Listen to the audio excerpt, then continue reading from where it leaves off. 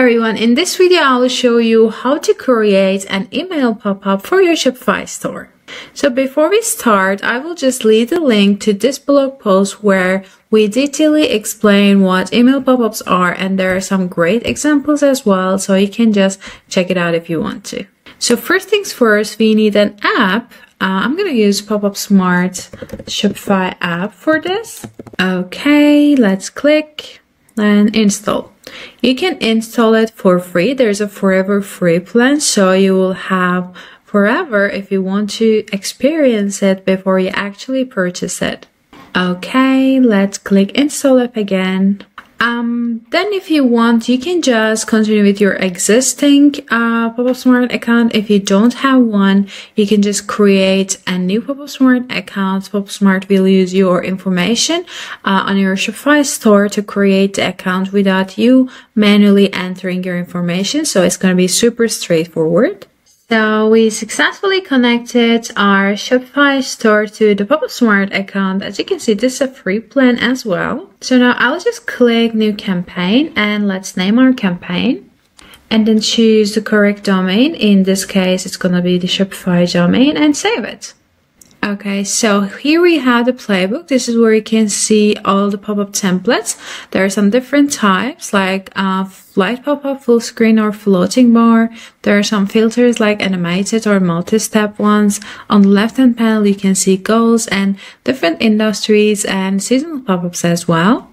Okay, from the goals, I will choose um, Okay, click on grow email list and there are some very stylish pop-up designs. You can choose one that goes well with your brand design as well. Or you can just choose one and tweak it to your liking. One of the best parts is that you can just preview the uh, template before you actually choose it. And then on the right hand panel, you will see the theme part. This is our theme engine. You can just click on different uh, designs and see if you like them better. It's like, yeah, you have one template, but it has many different uh, variations.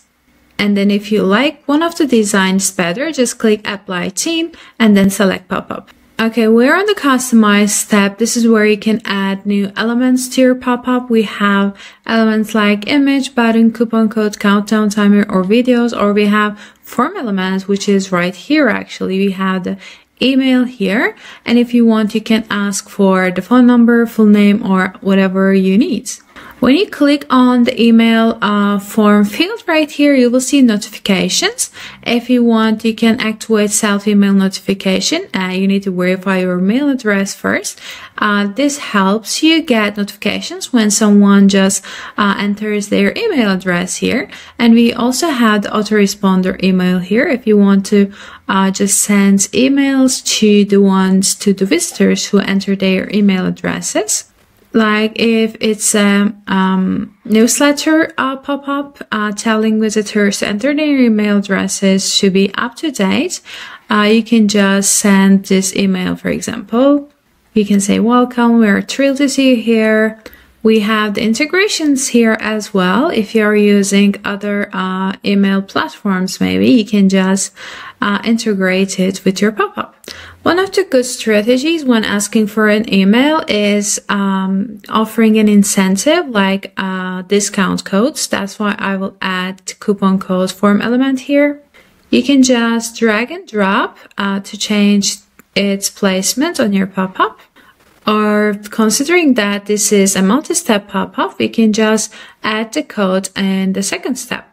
So I will just leave this as it is and go to success pop-up and add my discount code here. And when you click on the coupon code element, you can see the type, which is fixed and unique. Uh, if you choose unique, it's going to be different discount code for each visitor. And if you choose fixed, they're all, all going to uh, get the same discount code. Let's continue with style. This is where you can again see the theme engine. If you want to see other themes, you can just check them out. We can arrange the pop-up size, the position on the website, and then we the pop-up body style, Uh, if you want to change the background color of your pop-up, you can add an image to your pop-up as the background. We already have an image here and you can add Lottie animation as well. We have the website overlay. You can activate it if you want to make your pop-up more eye-catching.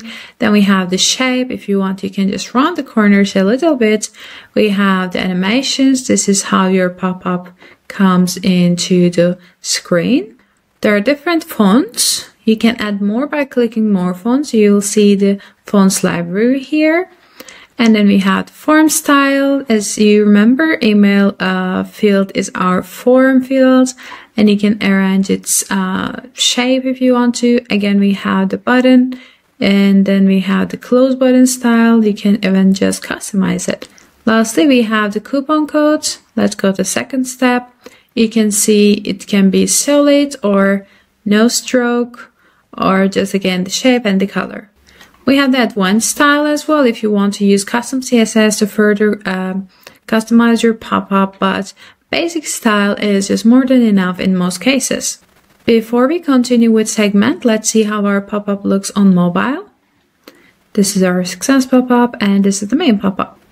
Okay, segment is where you can decide who you want to show your pop-up to. We are targeting desktop and mobile users, new and returning users. Then you can arrange a time and date for your pop-up to be displayed. We have different uh, targeting options here. And we have the Shopify audience targeting. This is uh, special to Shopify. With Shopify audience targeting, you can just choose to show your pop-up to cart total is equal to and a value, let's say a hundred dollars. So people with a hundred dollar cart total will see your pop-up only. This is a pretty cool feature. You can just try it out for yourself. Then we have add user behavior targeting. Uh, I want the pop-up to be displayed when people scroll 20% of the website. So I just want them to show some kind of in interest in the website first. Then we have the inactivity mode and I want it to be displayed if someone is inactive on the website for 10 seconds. Then we have frequency settings. I want my pop-up to be shown on every page view, but if someone submits an email or clicks a button, I don't want it to be displayed anymore. So I'm happy with the segment, so I will just save it. Let's continue with publish. This is where you can see your targeting summary and you can see the autoresponder email again and last integrations and analytics if you want to activate it as well. Once you're happy, click publish. Okay, when you click publish, it asks you to verify your Popupsmart app. For this, you'll go to theme settings in Shopify and you will see pop smart right here. Just activate and save it. Okay, let's go back and click refresh. Okay, it's activated.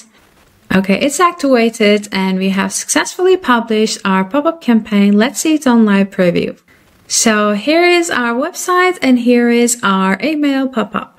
I'm just trying it out and here is our discount code.